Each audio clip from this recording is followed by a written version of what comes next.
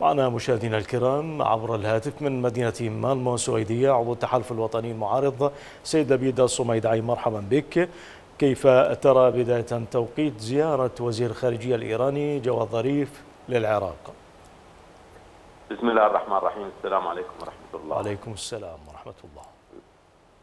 التوقيت لزيارة ظريف إلى العراق كان توقيتا مدروسا لأن إيران قبل زيارة ظريف إلى العراق استطاعت أن تتحكم بكثير من التصريحات الصادرة عن العشوائية الصادرة عن العراق خصوصا من الميليشيات التابعة لها. فحدثت تهدئة كانت هناك تصريحات كلامية وحرب كلامية وتهديدات ضد المصالح الأمريكية. إيران لم تكن ترغب بذلك صدرت توجيهات من أجل تهدئة هذا هذه المواقف. لأن إيران ترغب بحدوث أجواء هادئة بتوفير أجواء هادئة. إيران تميل إلى التفاوض مع الأمريكان.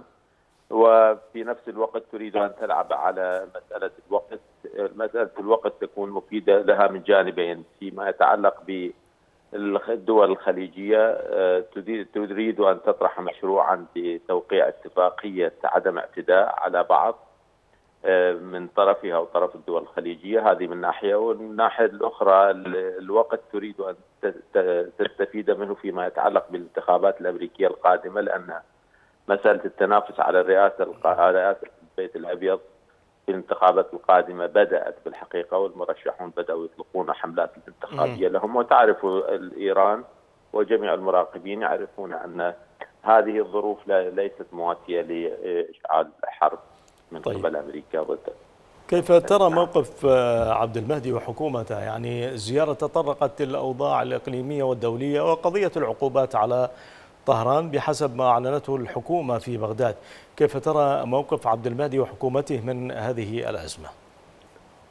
الموقف الرسمي عبر عنه محمد الحكيم اليوم في المؤتمر الصحفي أعلن بصراحة بأن العراق يقف إلى جانب إيران وغير ملتزم في العقوبات المفروضة على إيران امريكيا.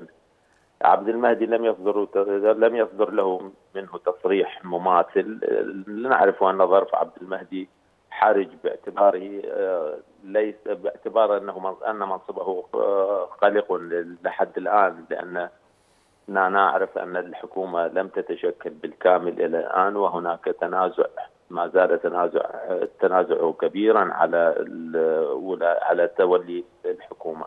لذلك يحاول عبد المهدي أن يمسك العصا من الوسط فيما يتعلق بلعبة التوازن بينه وبين إيران وبين أمريكا. ولكن يبدو أن زيارة ظريف الأخيرة جاءت لتثبيت الموقف العراقي. إذا حاز عبد المهدي لإيران كما ترغب طهران في هذه الأزمة.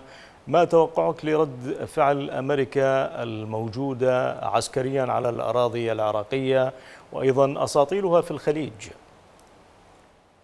أمريكا بالحقيقة لا لا يبدو أنها عازمة بشكل جدي على الحرب لكنها ستواصل الضغط على إيران حتى تدعن إيران إلى طاولة المفاوضات أنا أعتقد أن الأمور ستنتهي إلى طاولة مفاوضات. الحرب بالحقيقة لم يعلنها ترامب. ترامب هدد بضرب إيران في حال أنها أغلقت مضيق هرمز. وإيران قالت في البداية في بداية الأزمة أنها ستغلق مضيق هرمز فيما إذا منعت من تصدير البترول عبره. ولكن إيران لم تنفذ وعدها. إذا لم إذا لم تنفذ وعدها فلن فلن تحصل ضربة ضدها. هذه المعادلة بسيطة جدا. وترامب أنا أعتقد ترامب لن لن يثير نزاعا ضد العراق بسبب موقف العراق من من العقوبات لأن هناك مصالح بالحقيقة مصالح أمريكية في العراق والعراق وضعه خاص جدا. يعني أمريكا مستفادة من الأرض العراقية من أجل نشر قواعدها. وتعرف أن العراق دولة ميليشياوية ومن الممكن أن تفجير اي نزاع يحول العراق إلى مسرح للحرب والحرب تتحول إلى حرب مباشرة من قبل الميليشيات من جهة وقبل القوات الأرضية المنتشرة في القواعد الأمريكية من جهة أخرى، الوضع حرج جدا لذلك نتوقع أن الأمريكان الموقف الأمريكي من العراق سيكون متفهما لحالة الممالئه العراقية لإيران ويعرف جيدا أن الإرادة الإرادة الرسمية الأمريكية مرتهنة لدى السيد نعم. الإيراني بالكامل نعم. شكرا جزيلا لك من مدينة مان موسويدي يعود التحالف الوطني المعارض لبيد الصميدعي